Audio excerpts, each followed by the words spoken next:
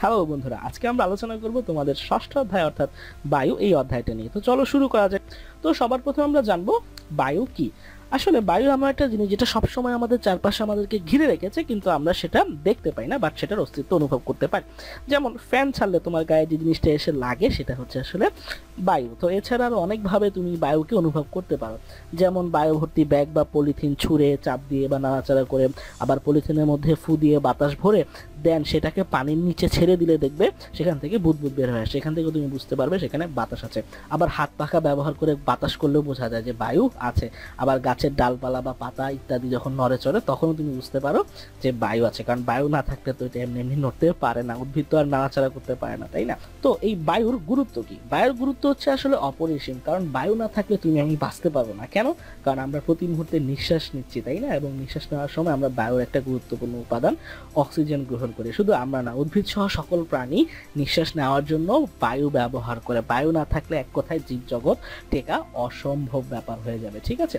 তো এসব কিছু ছাড়াও বায়ুর অনেক ব্যবহার আছে। যেমন সাইকেল বা গাড়ির চাকায় পাম দেওয়ার জন্য আমরা বায়ু ব্যবহার করি, আবার পাল তোলা নৌকা চলার জন্য বায়ু ব্যবহার করে। এই নৌকাগুলো আসলে বাতাসের ধাক্কাকে কাজে লাগিয়ে সামনে আগায়, ফলে মাঝিকে কম শক্তি খরচ করতে হয় নৌকা চালানোর জন্য। আবার গরমের দিনে শরীর ঠান্ডা রাখতে আমরা ব্যবহার করি এবং উইন্ডমিলের সাহায্যে আমরা বিদ্যুৎ তৈরি করতে পারি। এটা হচ্ছে উইন্ডমিল আর কি। উইন্ডমিল হচ্ছে বাতাসের সাহায্যে একটা পাকাকে ঘুরিয়ে সেখান থেকে জেনারেটর দিয়ে বিদ্যুৎ উৎপন্ন করা হয়। তো এই বায়ুর মধ্যে কি আছে? বায়ুতে আসলে অনেক রকম উপাদানই আছে। তার মধ্যে উল্লেখযোগ্য কিছু উপাদান হচ্ছে নাইট্রোজেন, অক্সিজেন, কার্বন ডাইঅক্সাইড জলীয় বাষ্প ইত্যাদি ইত্যাদি। তো চলো, এখন এদের সম্পর্কে একটু বিস্তারিত জেনে আসা যায় তো সবার প্রথমে আমরা জানব অক্সিজেন সম্পর্কে। অক্সিজেন কি? অক্সিজেন হচ্ছে আসলে এমন একটা গ্যাস যেটা আসলে সমগ্র জীবকুল শ্বাস প্রশ্বাসের জন্য ব্যবহার করে। মানে তুমি, আমি সহ যত ধরনের প্রাণী আছে, তাদের সবার শ্বাস গ্রহণের জন্য এই অক্সিজেন গ্যাসটা প্রয়োজন হয়।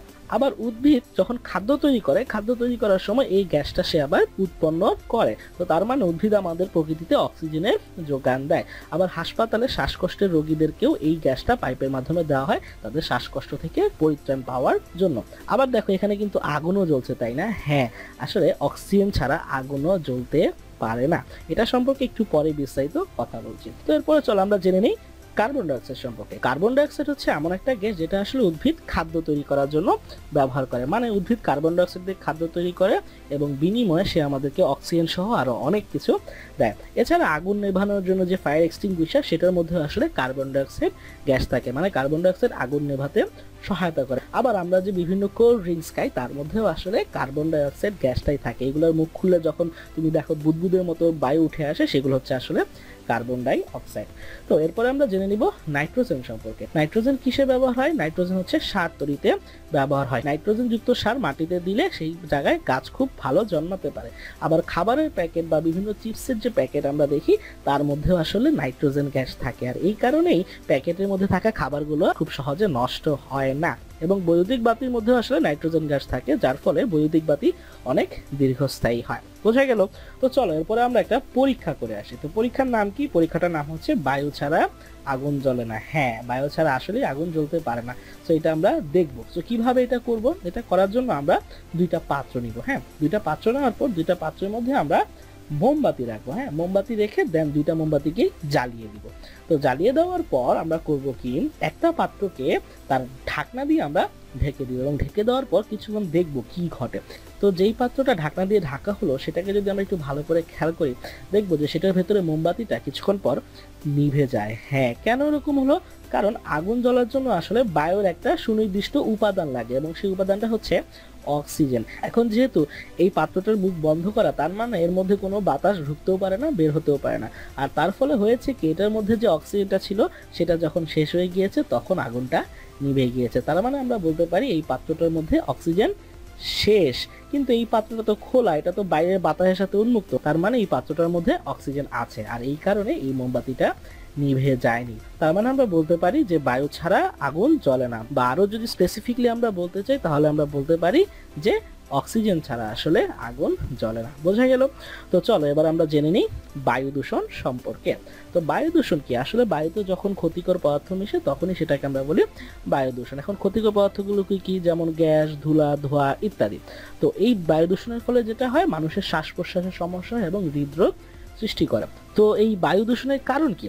সত্যি কথা বলতে এই বায়ু দূষণের জন্য আমাদের মানুষের কর্মকাণ্ডই বেশি দায়ী।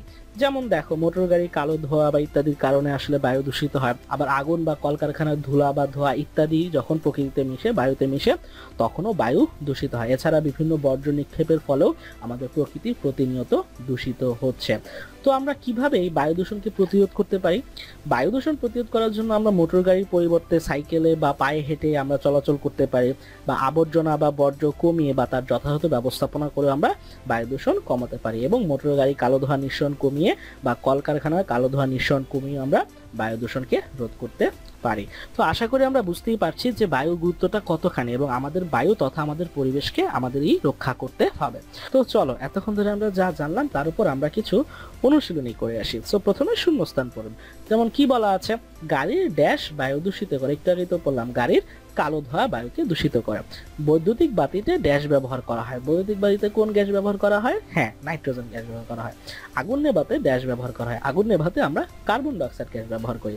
গাড়ির চাকায় ব্যবহার করা হয়। গাড়ির চাকায় আসলে নাইট্রোজেন গ্যাস ব্যবহার করা হয়। এটা তোমাদের বইয়ে সরাসরি বলা নেই, তবে এটা তোমরা জেনে রাখো। তো এরপরে হচ্ছে পায়ে হেঁটে বা সাইকেলে চড়ে ড্যাশ রোধ করা যায়। কি রোধ করা যায়?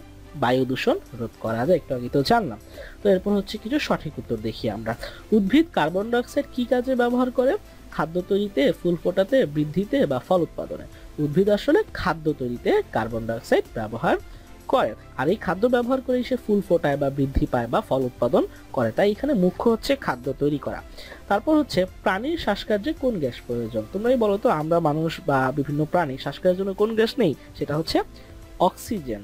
তারপর হচ্ছে সারের কোন উপাদান উদ্ভিদের বৃদ্ধিতে সহায়ক হয়। হ্যাঁ আমরা নাইট্রোজেন গ্যাস যখন পড়েছি, তখন আমরা জেনে এসেছি নাইট্রোজেন গ্যাস দিয়ে সার উৎপন্ন করা হয়। বোঝা গেল?